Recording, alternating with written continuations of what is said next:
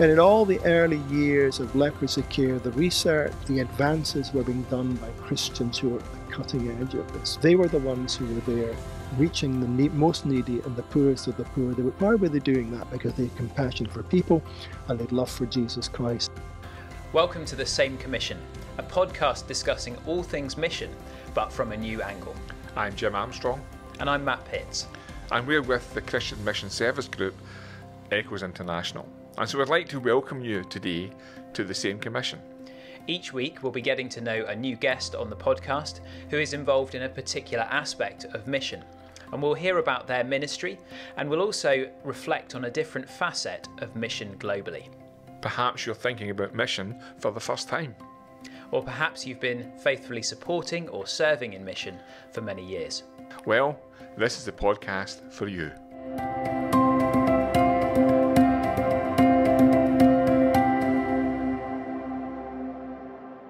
Welcome to today's episode of the Same Commission. Um, thank you for joining us. And with us today is our guest, Dr. Ian Burness. And for the observant amongst you, Matt and I are wearing the same shirt because we were in the same podcast we did earlier, just in case. And so, if you would like to write in, and actually, as an avid listener, you can you can you can tell us which podcast we were just recording.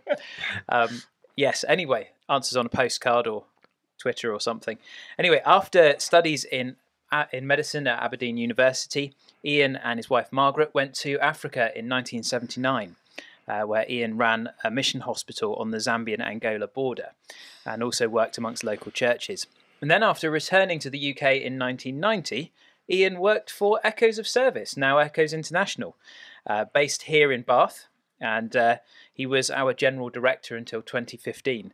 Um, he's also published a variety of books and is a, a real uh, a real historian of the missionary movement. So it's fantastic to have him with us today. It's very good to join you for this uh, occasion. I hope it goes well. I'm sure it will. It was good to have you, and we're here in the Bath office, which I'm That's sure right. you'll recognise, but right. it's quite different looking. It's a bit different shape. My my office used to be upstairs above this, and uh, Andy Street was down there. But it's nice to be back in the old place. Yeah, it's good to have you. Mm. So today's podcast theme is positive impact on mission or of mission, which in some respects, as a believer, you don't really need to consider talking about it, but actually, um, some people would probably question some of the positive impact. So we want to try and look at that today, yep. both from a, a Christian's perspective, but also many non-believers would question mission and colonialism yep. and all the stuff that goes on. So it'll be good to try and explore, explore some of that and unpack some of that today as well. Yeah, and we'll largely look at the 19th and 20th centuries, uh, which is often really seen as a time of, of revival and zeal for, for missionary efforts. But it's also a time at which a lot of criticism, as, as Jim said, has been levelled, um, particularly around missionary practices and, uh, and, and the kind of perceived attitudes of, of missionaries going out during that time. And yet, it is definitely accurate to say that the UK is now benefiting from hmm. mission partners coming from many former British colonies, Indeed. and uh, and that is that is no accident, and they are evangelising in the UK now, and it's also not every secular opinion that's critical.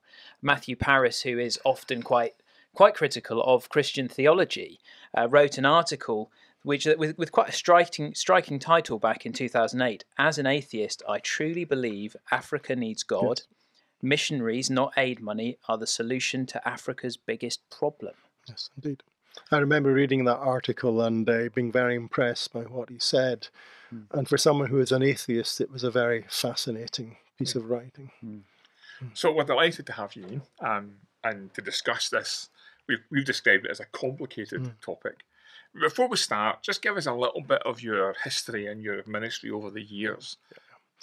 Uh, I suppose my long term interest in mission started when I was at med school, uh, really in first year med school, because there were other Christians in my year, and we used to meet for a Bible study at lunchtime uh, at that time, and uh, we would talk about the future. And mission came into the conversation. So it was there. And I grew up in a local church where mission was very much in front of us as well most months there would be one mission worker coming to report on their work. So we were constantly drip fed mission. It was there. And then my father was a full time Christian worker, gospel evangelist, and so it, it was it was before us. And so all through med school, the interest was there, and it grew, and it led to us formalizing our calling in a sense at a, a few years later uh, after graduation i did postgraduate training for a few years wanted to go back to a mission hospital where I could act solely as the physician, the, the general physician, which was my interest.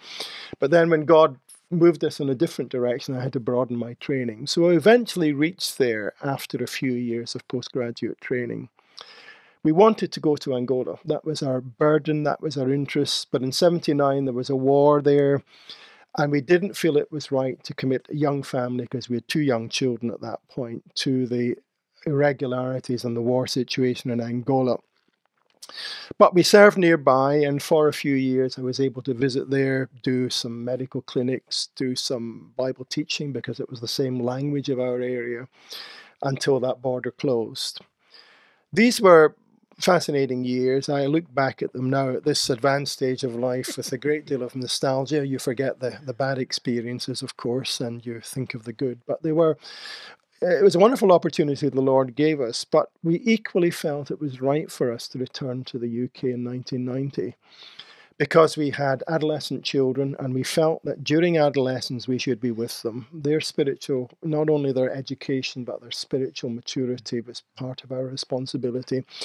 So, uh, probably when I left Africa in 1990, that was the most difficult decision of my life, actually, yeah. because I was enjoying the work. I was uh, fulfilled in what I was doing. I was able to teach the scriptures in the local language and been fulfilled in many ways. But we felt that for family care and education, we should come back. And we wondered what God would have for us.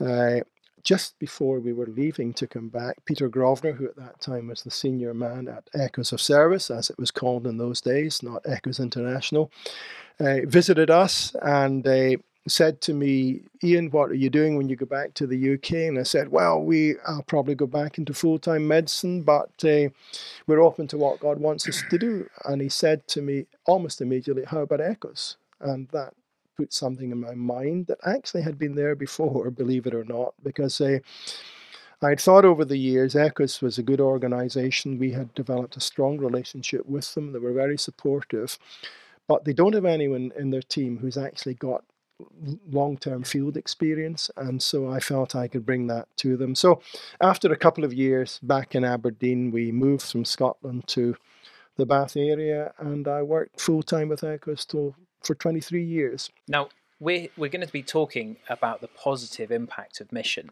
And, and so I guess my question is what are some of the positive impacts of mission over the years? And that is a very big, open mm-hmm. question. Mm-hmm. So it may be helpful perhaps to to zoom in a little bit, perhaps on on the the, the movement that that Echoes of Service, Echoes International has come from, uh, perhaps the the Brethren contribution yeah, to mission yeah, yeah. in recent years. But what would some of the the key uh, the key takeaways be?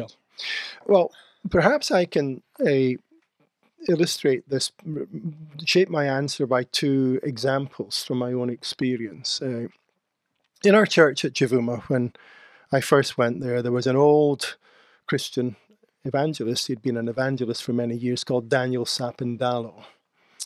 And sometimes uh, when we were meeting together, he would rise and he would pray and he would say, Lord, we thank you for delivering us from the power of darkness. Well, that's a phrase that Christians often use. It comes from Colossians chapter 1, and uh, we might think not more of it. But if you actually went and sat down with Daniel Sapindalo, he would tell you of how, as a young boy, he grew up in Angola. And in his village, if someone was becoming old or frail and a burden to the community, often that person would be accused of witchcraft.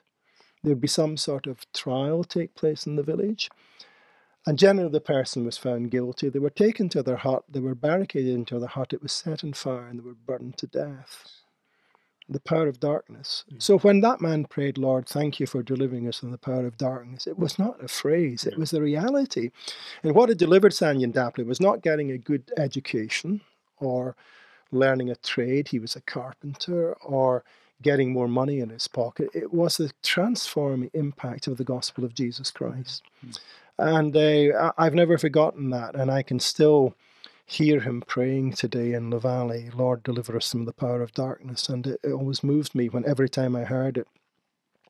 Then I remember a being on the top of Kalene Hill, which is also in Zambia, with the late Joan Hoyt a number of years ago. John Hoyt, Joan Hoyt was the granddaughter of Dr. Walter Fisher, who was the pioneer missionary doctor who went into what was what became Northern Rhodesia and then Zambia and established a, a medical center at Kalene.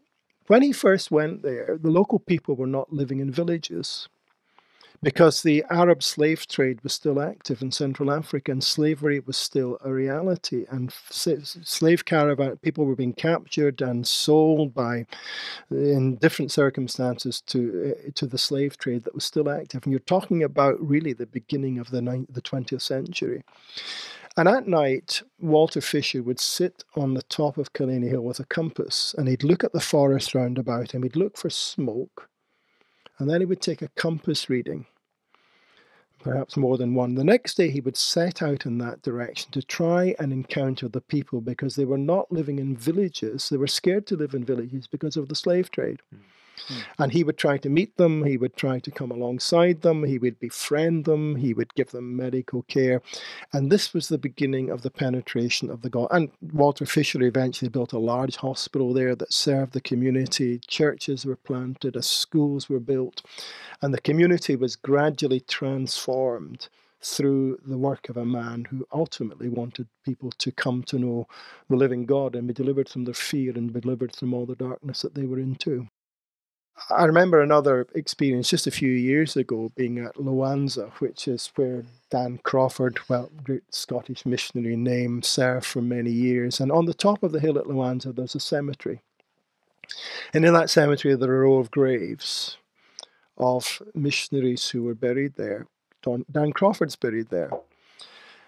My great aunt, the first wife of Dugald Campbell, was buried there. She died as a young woman 11 days after giving birth to her second child and uh, is buried in that hill. So it was very moving to stand by her gravestone. The gravestone actually was cracked in half.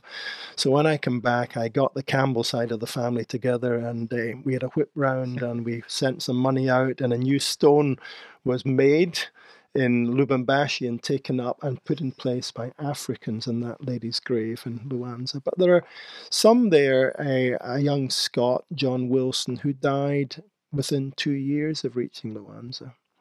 There are missionary children who are buried there who died of malaria. And when you walk along a row of graves like that, you think of the sacrifice and the cost. And what were they there for? Were they there trying to build an empire? Were they there trying to make money? They were sacrificing their lives to take the gospel of Jesus Christ to the community. And when you go there now and you see vibrant, growing, living churches, you say, yeah, it has had an impact. There has been development over the years, and God has blessed the sacrifices of previous generations. You've mentioned some names there already. I guess my question following on from that who are the kind of unsung heroes? If you walk into the late 1800s and the early 1900s, who would you highlight as folk who would stand out in taking the gospel to other parts of the world? There are some names that really impact me, some from the 19th, some from the 20th century. Uh, inevitably, uh, a Christian doctor impacts me. She's a lady who actually grew up in Bristol, Dr. Charlotte Pring. She obviously had a congenital problem with it. Probably she had a congenital dislocation of her hip, so she had mobility problems all of her days. And she went to India around about 1908, I think, initially, and uh, saw that many of the women were dying because they would not consult a male doctor. It just was not done culturally, and many of the women were dying. So she came back in the early 1900s. She trained in medicine now. That's the beginning of the 20th century when it's very difficult for women to get into medical school.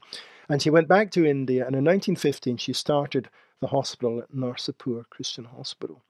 And she served there until the Lord took her home in 1953 and did an amazing job over that time. Latterly, she was so lame that when she was doing her ward rounds, they had to carry her from ward to ward in a seat because she could no longer walk properly. Uh, I visited her grave in Narsapur many years and was very impressed to, to think about this lady from Bristol, what she gave for God. Uh, another of my heroes who didn't become a missionary actually was a businessman in London. His name was Huntington Stone, and he was the senior man in the Peek Frean Biscuit Company. So every time I have a Bourbon cream, I raise it to Huntington Stone. Good choice to, to Huntington. There. That's right. Other biscuits are available. He was he was a very rich man. He inherited several fortunes, but he was deeply committed to mission. And he had a large house in Greenwich, and he lived in two rooms here. And the rest of his house he used for accommodation for those who were doing training in mission before they went abroad. So, over the years, hundreds of missionary candidates lived in his house, and very often he dipped his hand in his own pocket and he paid the fees for them to train at the East London Bible Institute. There was something similar happening in Glasgow too, and Huntington Stone contributed towards that as well. When he died, 2000, 1915 or 1916, I think he died. He left his fortune largely to echoes of service that was two hundred thousand pounds then. That would probably be about twenty-four million, twenty-five million in today's money. money. Days, yeah. He said that it should be used up over ten years. And of course, the war years and the post war depression led to a serious dip in giving for mission among Christians and churches in the UK. But Huntington Stone's money fed in during all these years, so there was never a dip in income. And when the money was exhausted, the giving had risen again. And, the, and so, therefore, his provision for the work of God at that time was amazing. So, he was never uh, cross cultural missionary and not leaving the UK, although he knew a lot about mission, but he was a man who became a great benefactor to Christian work. And I think in the circles in which we have moved, you know, and that have supported Echoes over the years, many of the unsung heroes are the ordinary Christians who mm-hmm. generously give, who just dip their hands in their pocket and they give on a regular basis to support mission support missionary work. And of course, we remember the big benefactors, the Huntington Stones, the, the Sir John Laings, and so on, and these were key people.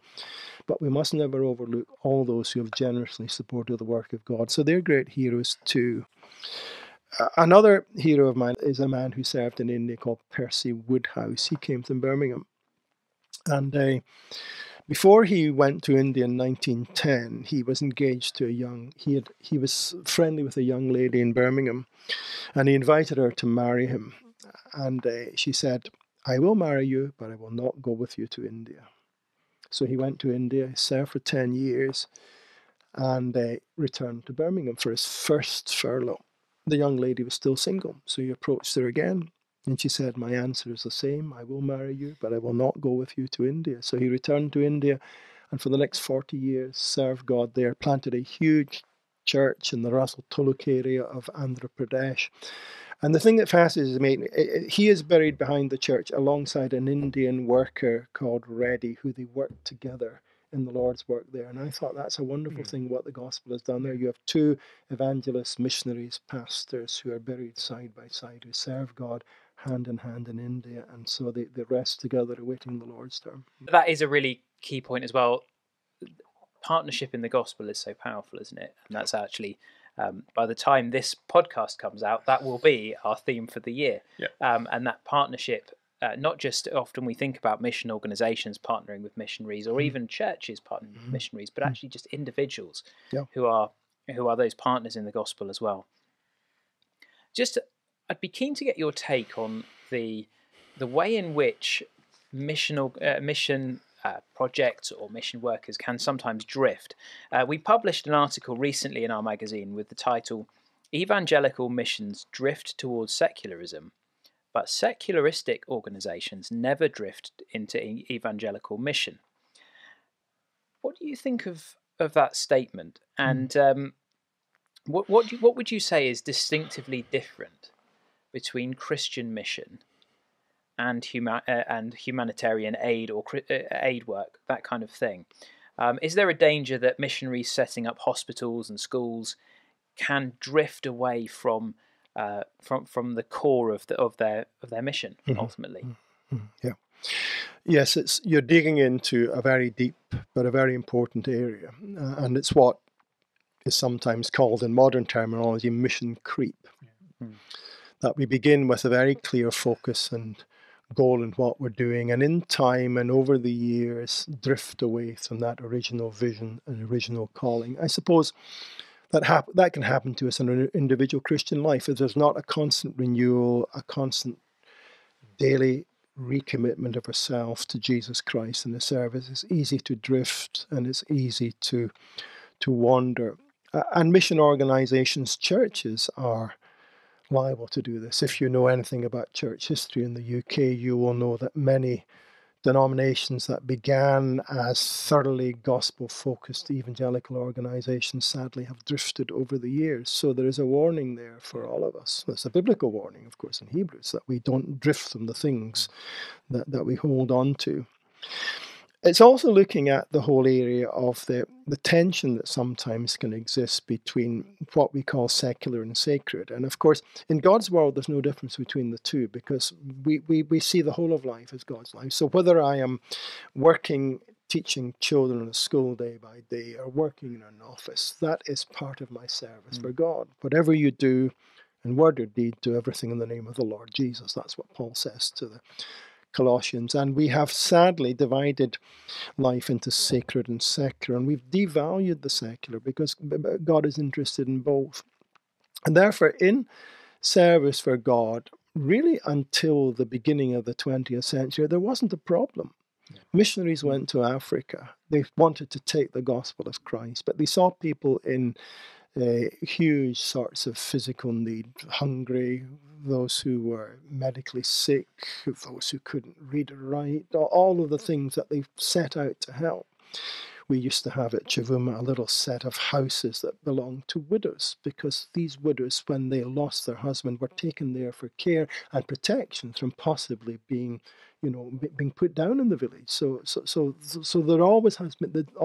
There wasn't a problem. It was only really at the beginning of the 20th century, when the social gospel and liberalism came along, that evangelicals began to retreat to some extent from this, retreat from social involvement.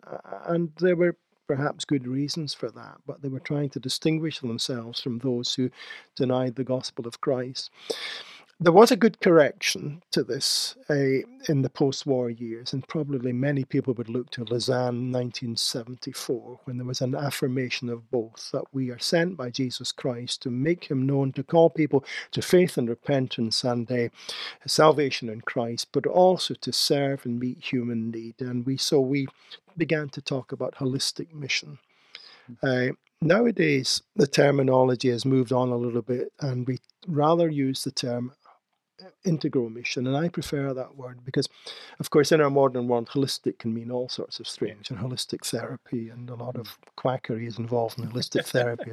I'm speaking as a medic here, okay? I'm speaking as a medic, yeah. you know. But it's amazing what it's amazing how gullible the public are. But there we uh, but anyway, uh, so so therefore we try to integrate all that we do. We don't see it as, you know, this is social and this is spiritual. I encountered that when I first went to Africa. Oh, that's social work you're involved in. We're just doing spiritual work. And well, it's all the Lord's work and it's service for people in Christ's name, so therefore He will honor it. But I think in anything else, there are pendulums, aren't they? Pendulums swing. You know, we make a correction and then we can overcorrect. Hmm. And I wonder sometimes if that we have overcorrected in the holistic gospel spectrum. And so there was a debate in more recent years about gospel prioritism, and the person who's particularly talked to this was David Hesselgrave. He wrote a book, uh, Paradigms in Conflict, a few years ago, and he said if we do not give the gospel priority, it's very quickly, it's very easy to lose the gospel. Mm. And from what I've observed, I see that. I see that actually in different organizations that I've known over the years that they have been, you know, they start off and they're faith based, and then faith becomes a value, and then we affirm faith, and then faith gets dropped out. So it's it's it's it's complicated. So I believe that we serve human need whenever we find it.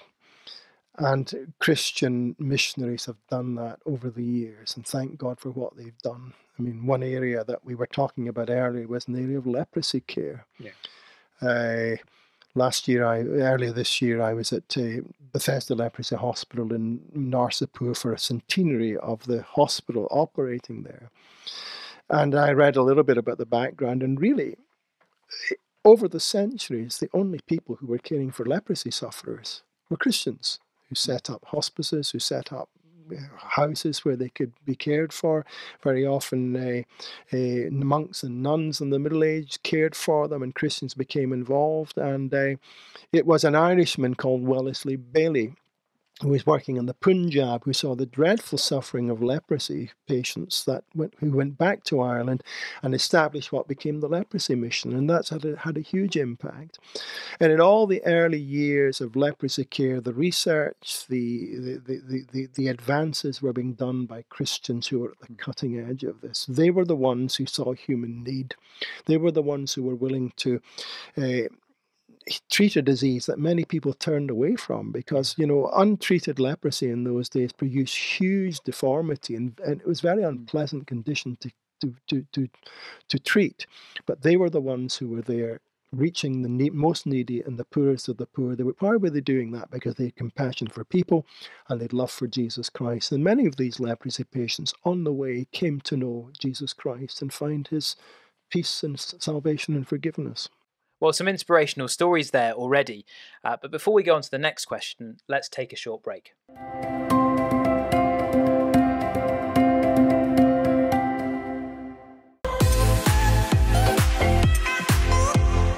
Ready, set, go.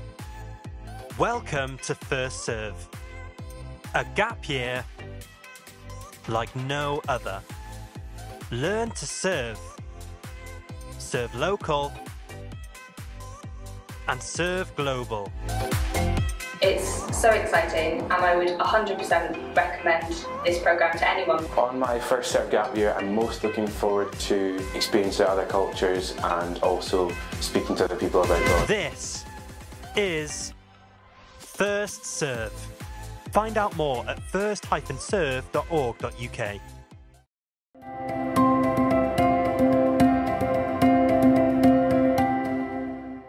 Thank you for joining us again. This is the Same Commission podcast by Echoes International, and we're here with our guest, Dr. Ian Burness, uh, who has been involved in mission for many years.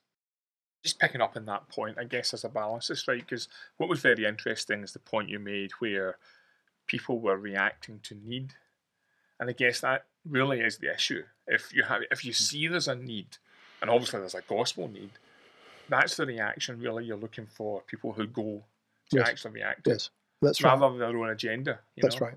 That's right. Well, it's you know an important verse for me is two Corinthians five. The love of Christ controls us, yeah. and that is the controlling factor in our motivation. It is Christ's love. Uh, his love for me, and that should overflow in my love for others and yeah. my compassion for those who are in need, particularly those who are lost. Uh, it was John Piper who actually said in Cape Town in 2010 we as Christians should be concerned for all forms of human need. Yeah. But equally, we should be concerned for people's eternal needs. Yeah. Mm-hmm. You know, and never forget that people have an eternal destiny, and we need to respond to that as well. And it was a very straight comment that he made that didn't always didn't necessarily go down too well, but it was actually a very important statement. This is a, a, I guess, a very cultural question. Um, should Christians be embarrassed about mission in the past? If you think of all that's going on uh, in our world today, and particularly in Western society, and it's mixed up with colonialism and all of the different bits that are affected by that, um, how do we distinguish between that and what the gospel has done and the mm. changes that have been made? I think the answer to that is yes and no. Yeah. Uh, there is much that we can hold out as being a demonstration of great compassion and love for people demonstrated in action. And uh, to me, many of the frontline heroes over the centuries have been Christian men and women who have gone not for their own interests, but for the interests of the, king, the advancement of the kingdom of God. So, so there's an answer in which, but yet there is an answer in which we can say yes. There is there should there is a degree of embarrassment because sadly, mission and empire have sometimes been linked together. There's no doubt about that. Uh, embarrassingly so in some parts of the world. Uh, if you want to look at this in more depth, uh, the book by Brian Stanley, The Bible and the Flag, is probably as good as anything. It's, a, it's several years old, that book now, but it's an excellent book looking at the whole relationship between Christianity, Christian mission, and empire and colonialism. And he again gives good answers and shows how positive Christian mission has been, but yet sometimes the link has been too close. One of the things that interests me, if you look at history, is that at the beginning of Christian mission, Christian mission tended to be done from a position of equality. Yeah. I'm a great uh, fan of David Livingstone, uh, you know, who uh, was a great man. And uh, although there are some negative biographies about Livingstone, I think overall the picture is very strong. But Livingstone saw the Africans as his equals. Yeah Hmm. and struggled with the attitude, particularly in South Africa, of the Boers, the, the, the, the, Dutch Reformed, who saw themselves there like the Israelites, you know, subduing the tribes of Canaan. That's how they, that was their theology for how hmm. they took over South Africa. You know, they were the new modern Israelites subduing the Canaanite evil tribes. Livingstone, you know, stood in that position of regarding people as equal. And I think in the first half of the 19th century, that was largely the attitude that was the attitude of William Carey. There was a covenant called the Serampore Covenant that Carey and his co workers repeated every six months. And in that, he says, we must treat Indians as our equals because India will only be reached by Indians. Again, yeah. the, for, the foresight that he mm, had was yeah. amazing. But it's, you know, here is a man of the early. Uh, uh, early 19th century who, who says these things with great clarity.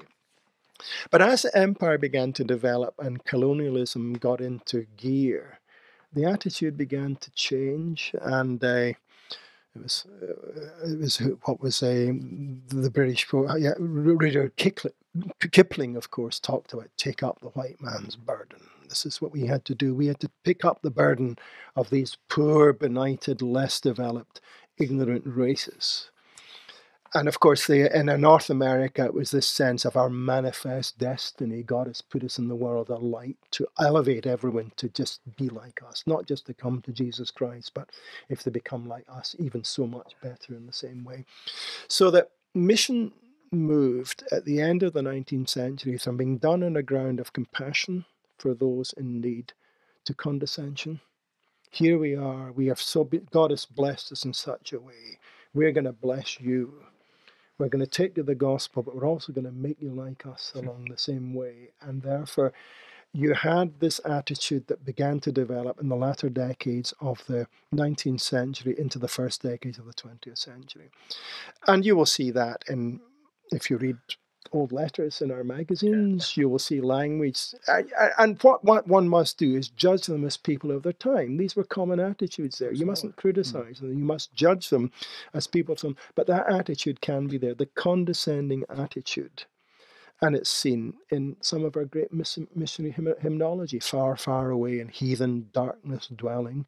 You know, and so in in our thinking we have almost seen that we are in a position of privilege and we can come alongside and lift these poor people up and make them like us. And this perhaps has been one of the less happy aspects of mission over these decades. You and I met up in India earlier this year.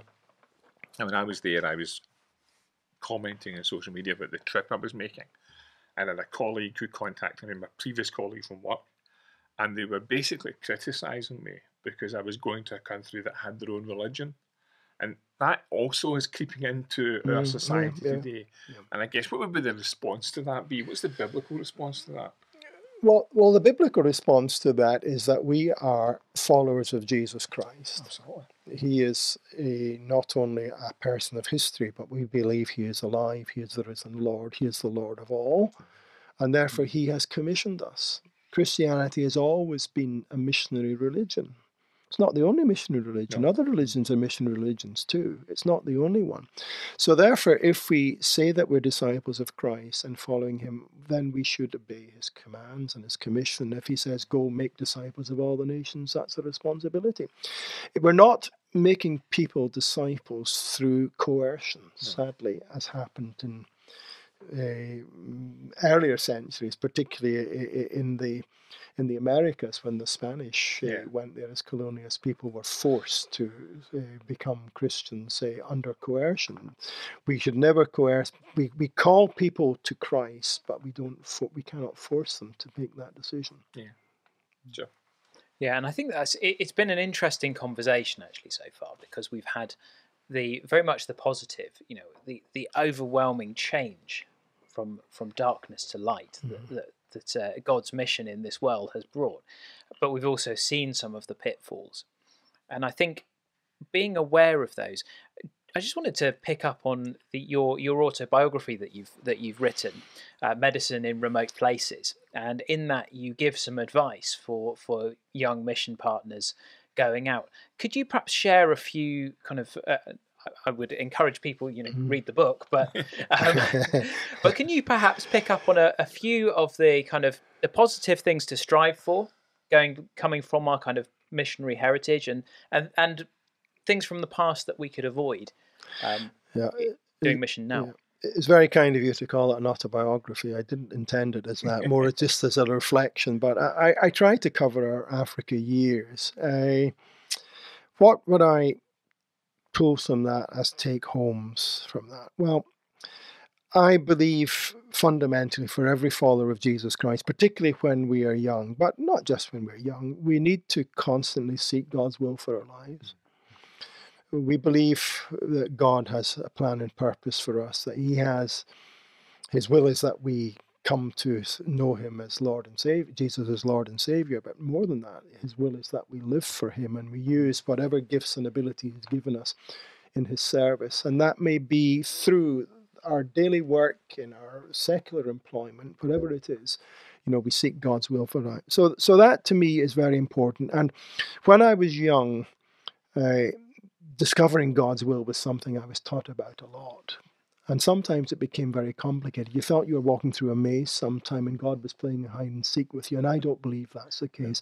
I believe very strongly that you know god works walks with us so things that god ex- god does and things that god expects us to do and i often see that you know often god gives us desires puts plants desires in our hearts and he expects us to follow these desires up so when i was about 19 and became serious about my christian faith i had a desire to start studying the scriptures so i spent a lot of time in these years in bible study many many hours every week I and that increased my thirst for Bible study. And I read and I developed my knowledge of, not that I knew everything, but at least I found my way about the Bible. He also gave me a desire to uh, to get in to serve in missions. So I thought, well, let me let's do a medical elective and abroad. Let's go to South Africa and let me see if I feel I can cope with this. And when I had that, when I fulfilled that desire, this confirmed, yeah, I think this is something I can do. And I think after the desires are, are given to us, God then, God then, uh, the desires deepen into convictions. You're setting the, you're setting the, your sails, if you like. You're setting the course of your life. You, you, the direction you're going to go. And as we go along, we're setting the course of our life. And it's not just a desire. Now we're convinced about what we should be doing and how we should be serving God. And then often at that stage, when you're moving along this pathway, God brings something into your life a challenge, a letter, a meeting, a conversation, something that speaks to you. And that's when you have got to decide. You know, God doesn't do for us what we must do for ourselves. He doesn't. We we make the decisions. He puts the desires there. He gives us the convictions. He brings the signals to us. We make the decisions. And as we, you know, as we go step by step, He walks with us. Hmm. What's the psalm? As you go step by step, I will be with you. Hmm. Yeah, I've often thought as well that um, the more you spend time in his hmm. presence and the more you listen to what he's saying, the more you're influenced by the direction you're going to go. Mm, so, A- And part of that is that as we grow and we develop, we need to develop a robust spirituality and a disciplined life. I think discipline is very important in the Christian life. Mm. If people are undisciplined, I I think they do not usually make good mission workers. Because often you're working, you're, you may be remote, working in a remote place, you may be working on your own, you may have very little local accountability. If you're not disciplined, you can fritter away your Yeah, time. sure. And I think to me, developing as you as you go as you go on with God, a robust spirituality and a disciplined life is very important. Now, I often say, you know, there's no special room at Heathrow that uh, you go in and you're given an anointing of the Holy Spirit so that you become all the things you're not. And what you I've are abroad, what I've you are abroad, you what you are at home is just an extension of Yeah, what you are at, absolutely. ho- are at home. And so, therefore, discipline is very important. Well, important lessons to pick up from Mm. that perspective. So, looking to the future, what do you think the lasting impact of mission uh, has been over the years? Particularly if you think of, I guess, your experience in Zambia Mm. and India as well. What are the things that we can pick up and focus in on?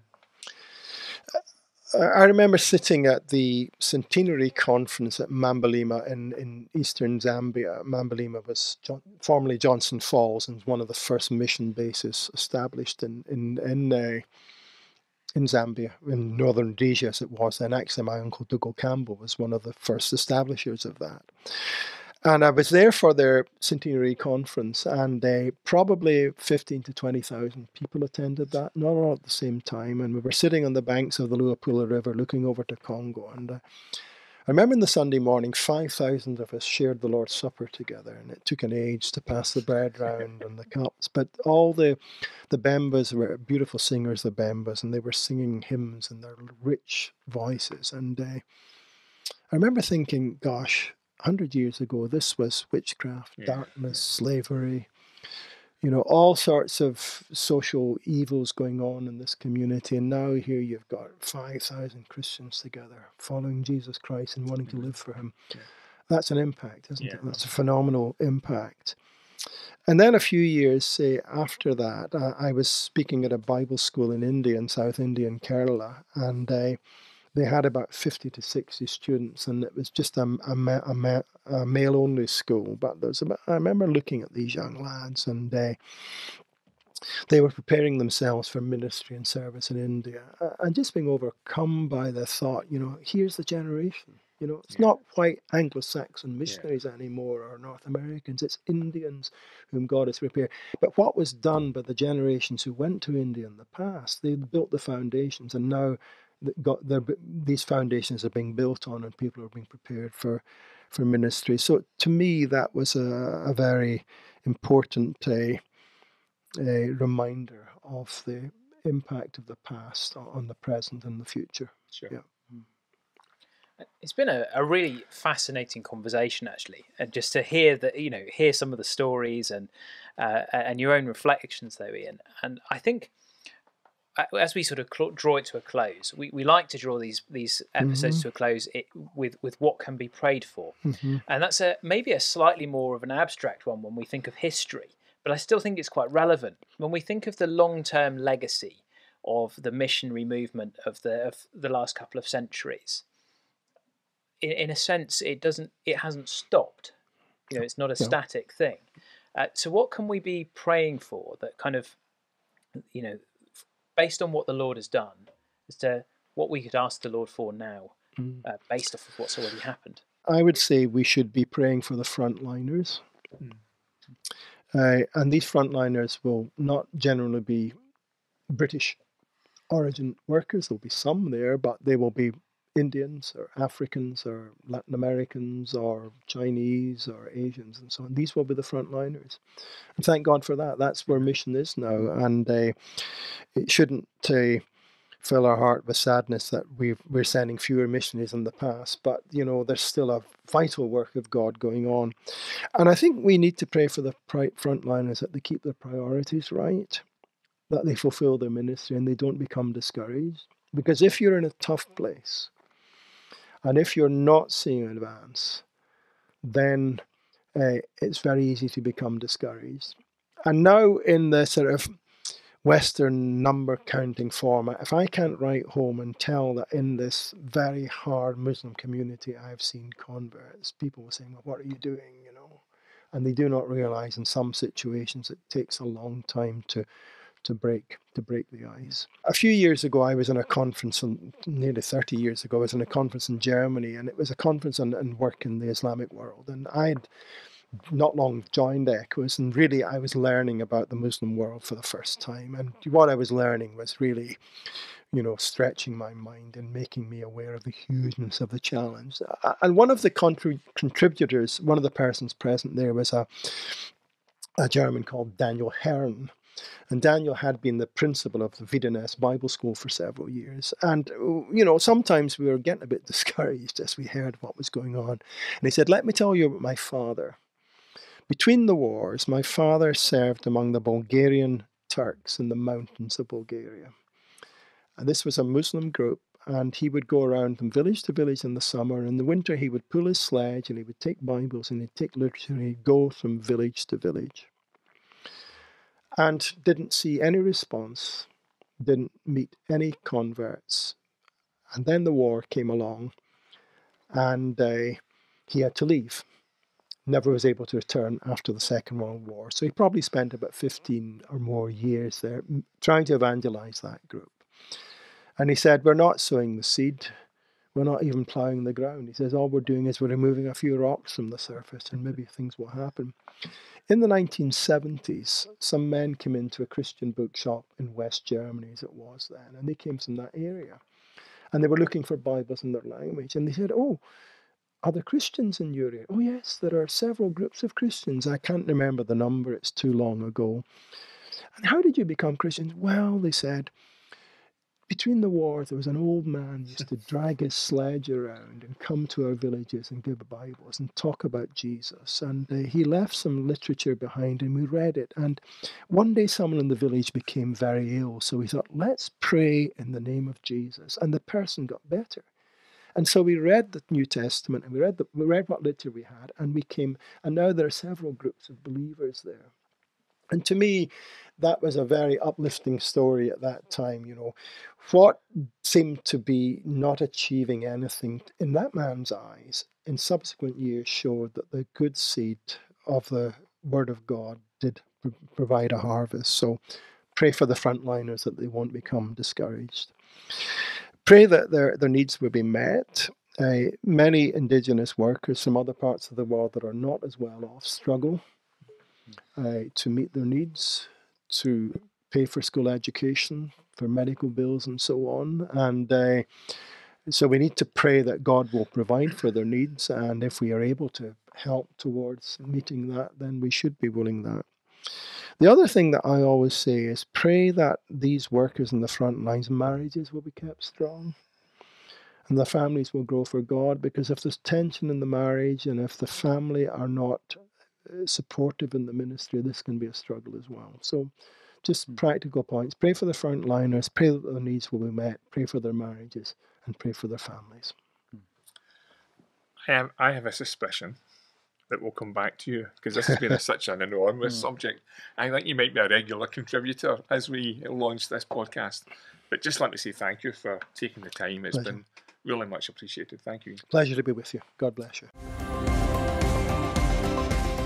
Thank you for listening to the same commission. If you haven't subscribed already, please do so to continue hearing more about mission. And praying for the good news of the Lord Jesus Christ to reach all nations. To learn more about Echoes International and how you can serve in or support mission, visit our website at echoesinternational.org.uk or follow us on our social media channels. Thank you, and see you next time on the same commission.